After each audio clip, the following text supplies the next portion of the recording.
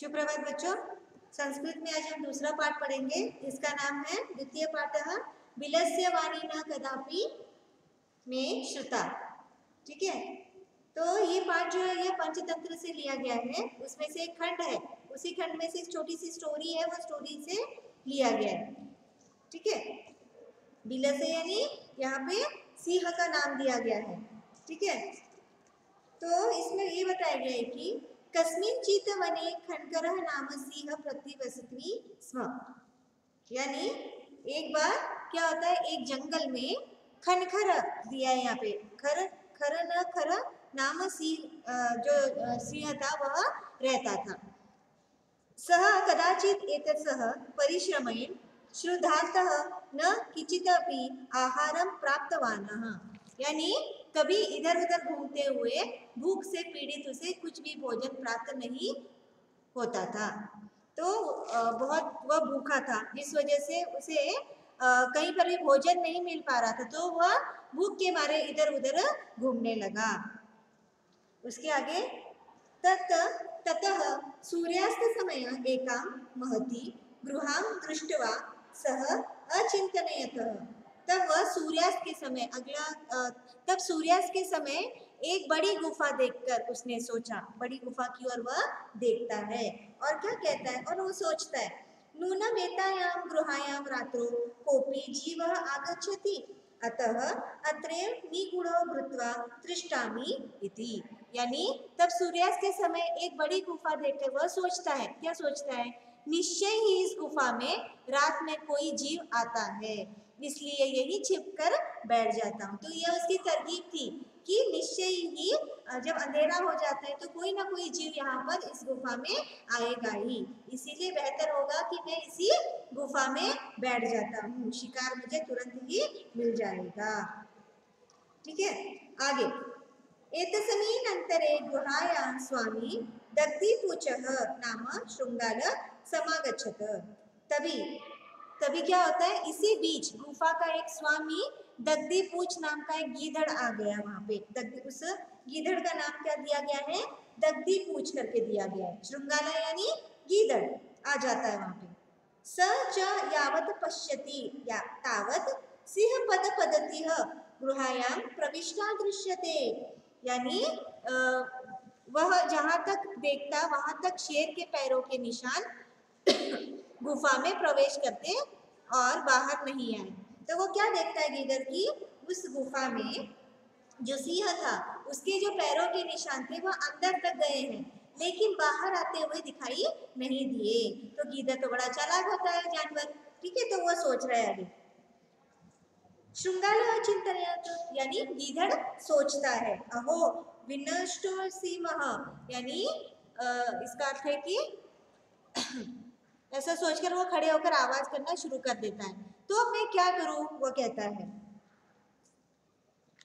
नूनम अस्मिन बिले सिंह अस्थिति तर्कयामी, तत् किम करवानी यानी वह कहता है कि गिदड़ ने सोचा, अरे, मैं तो मर गया, निश्चय ही इस गुफा में शेर है, ऐसा मैं सोचता हूँ। तो मैं क्या करूँ? ऐसा सोचकर दूर खड़े होकर आवाज़ करना शुरू कर देता है वह। ए वंचित दूरस्थ एव कर्तुर्मार्बद वो बिल, यानी वो आवाज़ शुरू कर देता है जोरों से हे। बिल हे बिल, भो बिल भो बिल, यानी हे बिल हे बिल किम न स्मर रसी वो कहता है कि क्या तुम्हें याद नहीं? यमुना ततयात समय कृतो स्थित यत, यदा हम राहत प्रत्यागमिष्यामि तदा तवम माम आकरिष्यसि। यानी क्या मैं तुम्हें याद नहीं हूँ कि मैंने तुम्हारे साथ समझौता किया है कि जब मैं बाहर से वापस आऊँगा, तब तुम मुझे बुलाओगे। यदि तुम मुझे नहीं बुलाती तो मैं दूसरे दूसरे बिल में चला जाऊँगा। तो ये गिदड़ की चाल है। वो कहता है कि अगर तुम मुझे नहीं बुलाओगी तो मैं अंदर नहीं आऊँगा। आगे, एत एचित्वा सिंह इसके बाद यह सुनकर शेर ने सोचा नून मेषा गृह स्वामी न यदा समाहन करोती निश्चय गुफा स्वामी को सदा बुलाती है।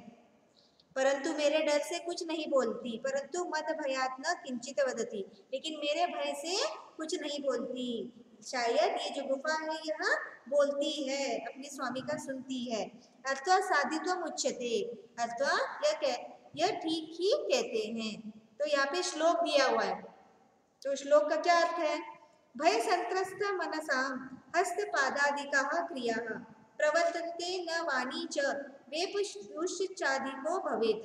यानी भय से डरे हुए मन वाले लोगों के हाथ पैर की क्रियाएँ और वाणी ठीक से काम नहीं कर पाती और घबराहट अधिक होती है। तो भय से जो डरे हुए रहते हैं लोग, उनके हाथ पैर क्रियाएँ नहीं करती। वे कुछ भी नहीं कर पाते। लेकिन अगर हमारे मन में डर ना हो तो कोई भी काम हम ढंग से कर सकते हैं। हमें कोई घबराहट नहीं होती। आगे। तद हम अस्य आहान करोमी।